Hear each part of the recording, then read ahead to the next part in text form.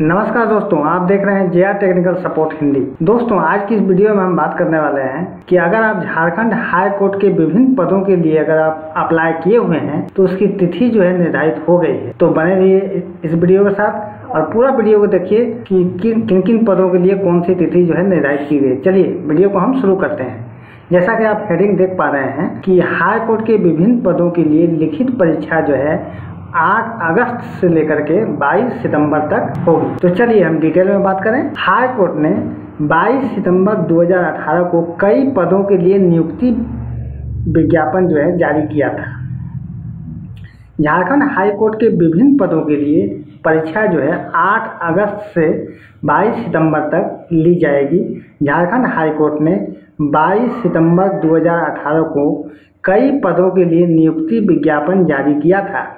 Jharkhand high court में सहायक, cashier, librarian, typist एवं जूनियर ट्रांसलेटर के पद पर नियुक्ति की जानी है। परीक्षा का आयोजन जो होगा, Cambrian public school Kanke road, Ranchi में किया जाएगा। तो ये आपका सेंटर रहेगा दोस्तों।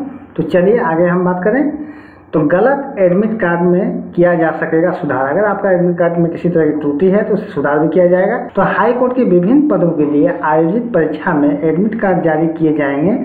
हाई कोर्ट ने सूचित किया है कि अगर एडमिट कार्ड में कोई या किसी प्रकार की गलती हो तो संबंधित विभाग द्वारा गलतियों में सुधार किया जा सकेगा।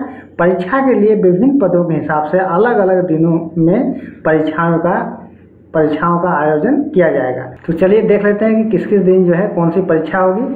तो असिस्टेंट लाइब्रेरियन के अगर आप पद को अप्लाई किए हैं तो ये 10 अगस्त को संभावित है या लिया जाना है। कैशियर के लिए जो है 10 अगस्त टाइपिस्ट के लिए भी 10 अगस्त ट्रांसलेटर जो है 11 अगस्त को ली जाएगी। जूनियर ट्रांसलेटर के पदों पर अगर अप्लाई किए हैं तो 11 अगस्त को। और असिस्टेंट के पदों पर जो है 22 सितंबर को ये परीक्षा आयोजित हो, होगी। तो इस प्रकार दोस्तों, आज का वीडियो हमारा जो है समाप्त होता है। ये वीडियो अगर आपको अगर हेल्पफुल लगी तो प्लीज़ आप लाइक करें शेयर करें, वीडियो को कमेंट करें। और अभी तक हमारे चैनल को अगर आप सब्सक्राइब नहीं कर पाए हैं तो जल्दी से इस चैनल को सब्सक्राइब कर लें और बेल आइकन को भी जो घंटी का जो बटन है, उसे भी ऑन कर लें ताकि हमारा लेटेस्ट वीडियो आप तक सबसे पहले पहुँच सके। तो थैंक्स फॉर वाचिंग चलिए मिलते हैं नेक्स्ट वीडियो में।